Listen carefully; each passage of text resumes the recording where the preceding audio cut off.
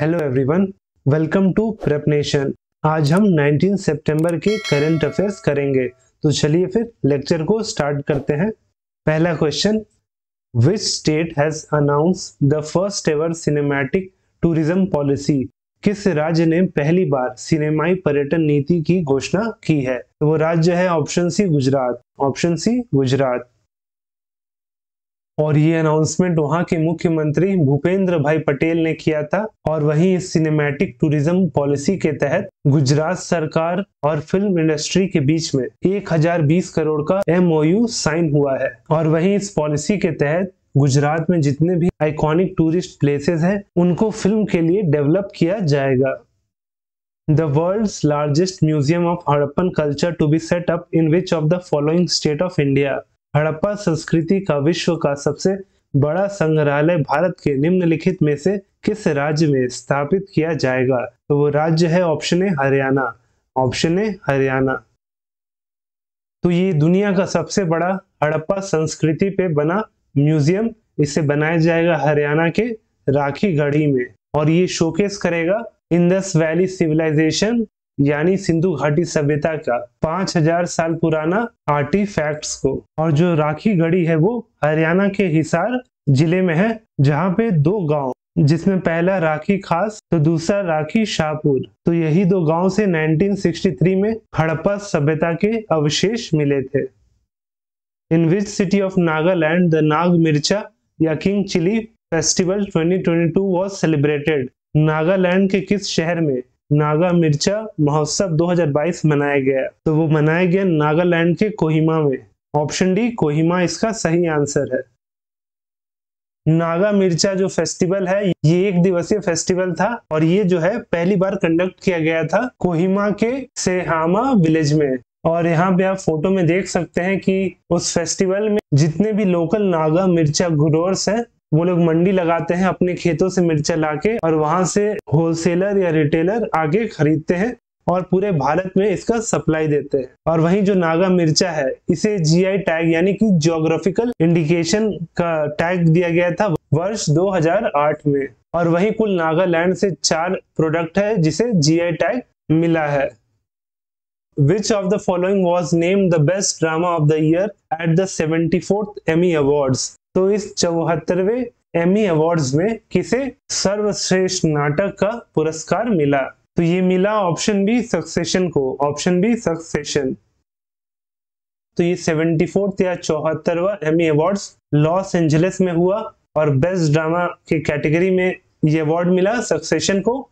वही लिमिटेड या anthology series में लीड एक्टर का जो अवार्ड गया वो डोपसिक के माइकल कीटन को गया।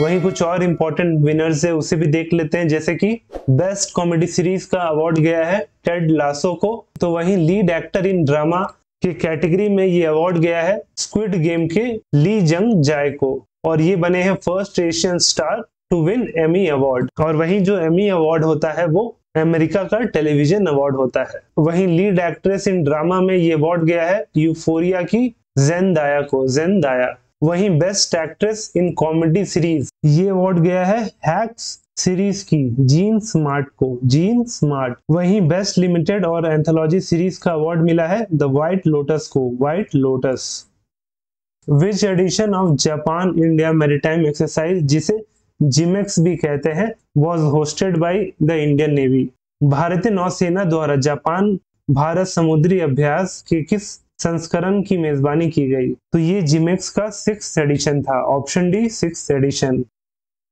तो इस छठे एडिशन ऑफ़ जिमेक्स एक्सरसाइज को होस्ट किया था इंडियन नेवी ने, और ये हुआ था बे ऑफ़ बंगाल में। वहीं इंडियन नेवी की तरफ़ से तीन स्वदेशी डिज़ाइन और बिल्ड वॉरशिप ने पार्टिसिपेट किया था, जिसमें पहला है शायदरी दूसरा है कदमत वहीं तीसरा है कावारती और ये जिमेक्स का टेंथ एनिवर्सरी था, जो शुरू हुआ था वर्ष 2012 को। और वहीं जापान साइड से इस एक्सरसाइज को लीड कर रहे थे रियर एडमिरल हिराता तोशियुकी और वहीं भारत की तरफ़ से थे rear admiral Sanjay Bhalla ji in which of the following exercise the Indian navy is going to participate in Australia in September 2022 निम्नलिखित में से किस अभ्यास में भारतीय नौसेना सितंबर 2022 में ऑस्ट्रेलिया में भाग लेने जा रही है? तो वो ऑप्शन ए ककाड़ू एक्सरसाइज के लिए भाग लेने जा रही है। Option A Kakadu. और ये जो एक्सरसाइज है 12 सितंबर को चालू हो गया है और ये पूरे दो हफ़्ते चलेगा। वहीं इस एक्सरसाइज में पार्टिसिपेट करने के लिए भारत से आईएनएस सतपुरा और P A time patrol aircraft Australia के डार्विन पहुँच चुके हैं। और इस एक्सरसाइज को होस्ट कर रहा है रॉयल ऑस्ट्रेलियन नेवी और इस एक्सरसाइज में कुल चौदह नेवीज पार्टिसिपेट करेगी। वहीं जो इस साल का थीम था, इस एक्सरसाइज काकड़ू का, वो था पार्टनरशिप लीडरशिप एंड फ्रेंडशिप और वहीं पिछले महीने अगस्त को Indian air force pitch black exercise में पार्टिसिपेट करने के लिए ऑस्ट्रेलिया का दौरा किया था। Which bank collaborated with the Wari Energies Limited to provide finance for solar project? सौर परियोजनाओं के लिए वित्त प्रदान करने के लिए किस बैंक ने वारी एनर्जी लिमिटेड के साथ सहयोग किया? तो बैंक है option D, State Bank of India. State Bank of India. तो स्टेट बैंक ऑफ़ इंडिया और वारी एनर्जीज लिमिटेड, जो कि भारत का सबसे बड़ा सोलर पीवी पैनल का मैन्युफैक्चरर है। वहीं जो वारी जो है, वो इस एग्रीमेंट के तहत एसबीआई की सूर्य शक्ति सोलर फाइनेंस स्कीम है। उसके तहत ये फाइनेंस उठा सकता है अपने जितने भी सोलर प्रोजेक्ट है उसको पूरा करने के लिए। India re introduce cheetah from Namibia to which national park Bharat ने चीता को नमीबिया से किस राष्ट्रीय उद्यान में फिर से लाया? तो वो नेशनल पार्क है option B Kuno national park option B Kuno national park जो कूनो नेशनल पार्क है, वो मध्य प्रदेश में है और ये स्टैब्लिश हुआ था 1981 को एज वाइल्ड लाइफ सेंचुरी और फिर 2018 में जाके इसे नेशनल पार्क का स्टेटस मिला।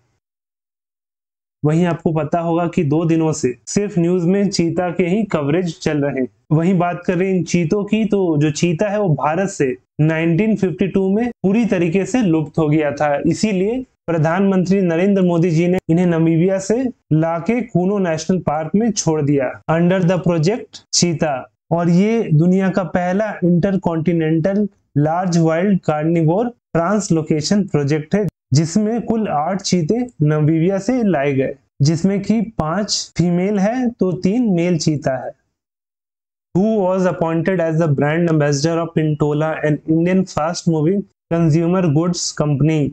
भारतीय fast moving consumer goods company Pintola का ब्रांड एम्बेसडर किसे नियुक्त किया गया तो नियुक्त हुए हैं ऑप्शन डी सुनील छेत्री। सुनील छेत्री। ये भारतीय फुटबॉलर है, सुनील छेत्री जी, और इनके जीवन के 20 साल के कैरियर में ये इनका पहला कोलैबोरेशन है किसी ब्रांड के साथ। और वही जो ये ब्रांड है पिंटोला, ये पीनट बटर बनाती है, और ये ब्रांड 2012 में लॉन्च हुई थी।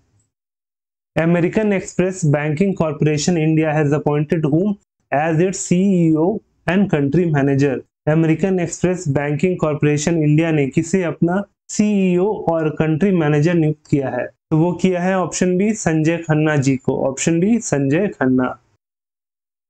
तो अमेरिकन एक्सप्रेस ने इन्हें नियुक्त किया है as CEO and country manager वहीं इससे पहले ये एग्जीक्यूटिव टीम के हेड हुआ करते थे। Where is the headquarters of the United Nation development programme यानी कि यूएनडीपी संयुक्त राष्ट्र विकास कार्यक्रम का मुख्यालय कहाँ है? तो ये जो क्वेश्चन है वो आप सभी के लिए है। आप इसका सही आंसर हमें नीचे कमेंट करें। और वही हमारा ये डेली करंट अफेयर का लेक्चर का पीडीएफ आपको हमारे टेलीग्राम चैनल प्रेप नेशन मिल जाएगा, जिसका लिंक नीचे डिस्क्रिप्शन में दिया गया है। आप वहाँ पे जाके उसे फ्री में डाउनलोड कर सकते हैं। और अगर वीडियो अच्छा लगा हो तो वीडियो को लाइक करें और साथ में हमारे चैनल प्रेप नेशन को सब्सक्राइब करें।